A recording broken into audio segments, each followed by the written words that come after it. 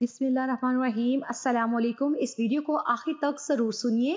खाली पेट लहसुन खाने के आठ ऐसे फवाइद जो शायद पहले आपको मालूम ना हो। लहसन बहुत ही फ़ायदा मंद मगर सस्ती चीज़ है। जमाना कदीम से लोग लहसन का इस्तेमाल करते आ रहे हैं। रोम, मिस्र, ईरान, यहूद, अरब और दुनिया के बेशुमार हुक्मा ने लहसन के फवायद के बारे में तफसीलन लिखा है।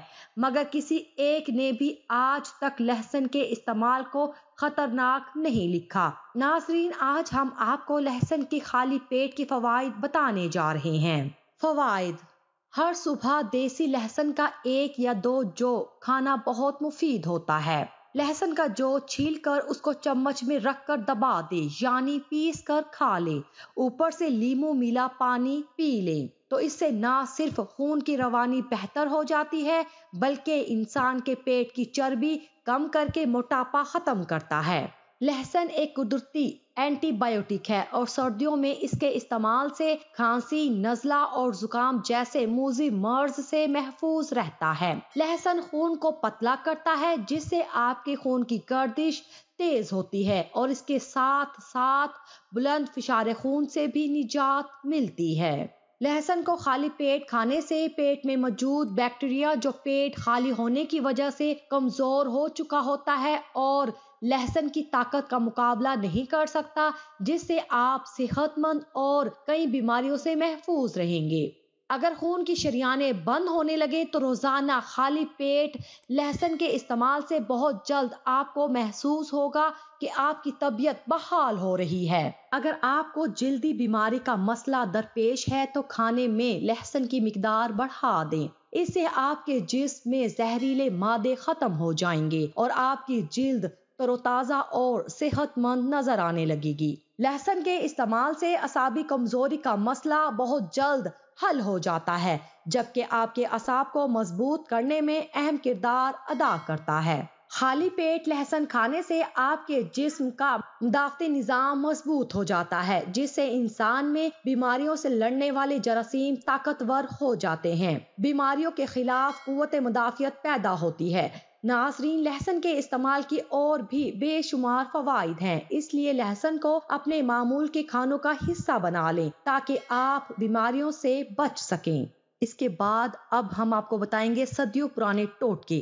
नाफ उतर जाए तो नाफ में नीम गरम नारियल का तेल लगाएँ। पाँव में दर्द हो तो जैतून का तेल लगाएँ। कमज़ोरी महसूस हो तो दो खजूर दूध में पका कर खाएँ और साथ में दूध भी पी जाएँ। पेट में दर्द हो तो पुदीने के पत्ते चबाएँ। सर में जुए हो तो चंबेली का तेल लगाएँ। चोट लगी हो तो खून रोकने के लिए रुई को नारियल के तेल में डबो कर लगाएँ। सर में खुश्की हो तो सरसों के तेल में दही या अंडा मिक्स करके लगाएँ। गला खराब हो और आवाज़ ना निकले तो कच्चा अमरूद जला कर खाएँ। कै ना रुके तो बस एक चुटकी जीरा खाएँ। कमर में दर्द रहता हो तो एक कप पानी में आठ तुलसी के पत्ते डालकर इतनी देर तक उबालें कि पानी आधा रह जाए। फिर जब पानी ठंडा हो जाए तो इसमें एक चुटकी नमक शामिल करके पी लें। कमर दर्द गायब हो जाएगा।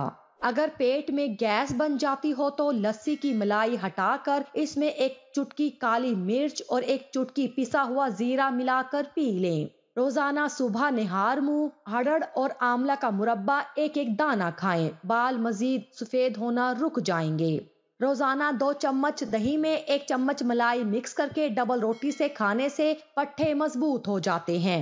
दार, चीनी और लौंग के पाउडर को मिक्स करके रोज़ाना नीम गर्म पानी के साथ फांकने से वायरल इन्फेक्शन से निजात मिलती है और जिस्म अंदरूनी तौर पर मज़बूत हो जाता है। काले भुने चने और किशमिश को मिलाकर रोज़ाना खाने से हड्डियाँ मज़बूत हो जाती हैं। रोज़ाना एक चम्मच लहसुन और अदरक के पेस्ट को सुबह निहार मुँह, गर्म पानी के साथ पीने से आपके मैदे के मसाइल भी कंट्रोल होते हैं और जिसमें बढ़ते हुए कोलेस्ट्रॉल में कमी वाकई होती है। शुक्रिया।